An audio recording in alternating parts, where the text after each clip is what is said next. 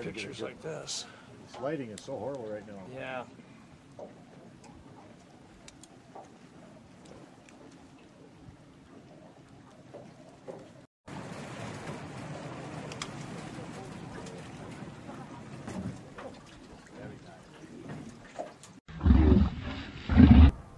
Yeah.